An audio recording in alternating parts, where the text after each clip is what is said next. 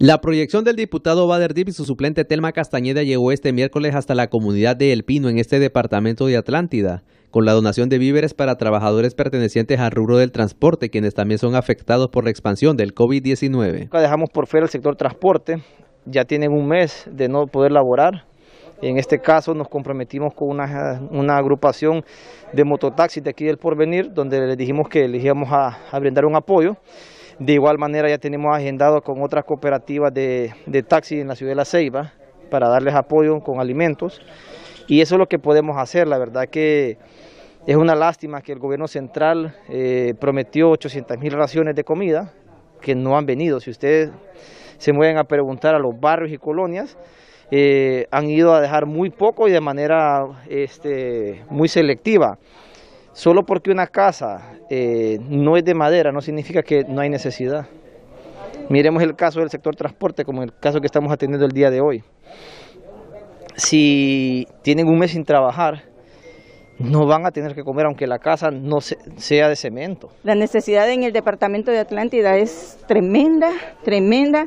Hemos estado trabajando en varios sectores y como siempre caminamos en las comunidades nos damos cuenta verdaderamente dónde está la necesidad. Para nosotros es fácil llegar donde verdaderamente hay necesidad porque conocemos cada una de las comunidades del departamento de Atlántida. Todos podemos hacer algo por alguien. Dios siempre suple los hogares, pero hay personas en extrema necesidad, con extrema necesidad, es ahí donde nosotros tenemos que, que tener ese ojo, ese radar y llegar no solamente donde está eh, nuestros líderes, sino también tener ese, ese contacto directo con la persona que verdaderamente necesita. Dicho contacto surtió el efecto esperado en cada beneficiado que ahora cuenta con su respectiva alimentación para sobrellevar el día a día junto a sus familias. Agradeciendo por, por la buena gestión, el, el, el, buen corazón que han tenido con, con este rubro. ¿Qué le ha manifestado a los diferentes conductores? Bueno, la necesidad que tienen, usted sabe, es enorme. En esta ocasión, ¿va? ya usted sabe que esta es una situación a nivel mundial, no solo local. Eh, pues ahorita ya con esta ayuda, pues ellos están muy contentos ¿va? y muy agradecidos. Hacemos eh, eh, énfasis va a la gente que tiene pues un buen corazón, que si nos pueden apoyar, pues eh, usted sabe que en esta ocasión todo el mundo necesita. Y estos muchachos como no están trabajando, ¿va? pues necesitan mucho de, del aporte de las personas que, los puedan apoyar. Y pues estamos felices porque un poquito, pues ya nos cubre un poquito el estómago y pues le damos gracias a, a lo que nos dieron la comidita, pues. Y pues también pues a los del canal que siempre están atentos con nosotros ahí. Pues primeramente Dios, le damos gracias a Dios y a ellos también, ¿va? Y gracias hermanos por darnos una comidita. ¿Cómo ha hecho para pasar el día a día a pesar de no estar laborando? Pues mire, uno trabaja un poquito, entonces uno ahorra un poquito, pero claro, se termina.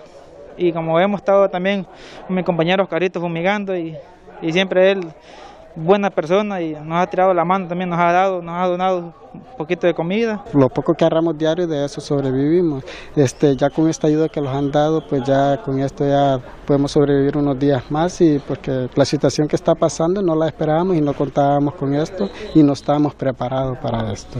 ¿Había usted recibido ayuda anteriormente?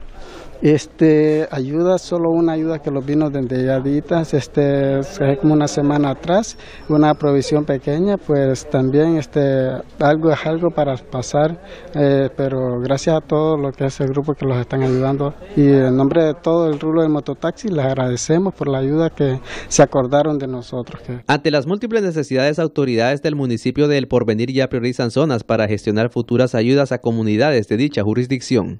Muy agradecido primeramente con Dios y también con el diputado Bader por haberse proyectado con el municipio y en esta vez con el sector transporte. Me van a apoyar con la gente del Pino, los mototaxistas del Pino, los de la Unión y también con los del Porvenir. Y estamos trabajando duro para pasar esta, este, esta pandemia que no está fácil, pero también le agradecemos a Dios siempre infinitamente porque ya estamos cerca de pasar esto y, y, no ha habido mucho caso acá en el pueblo. Para Telenoticias informó Luis García y en cámaras, Esteban Oliva.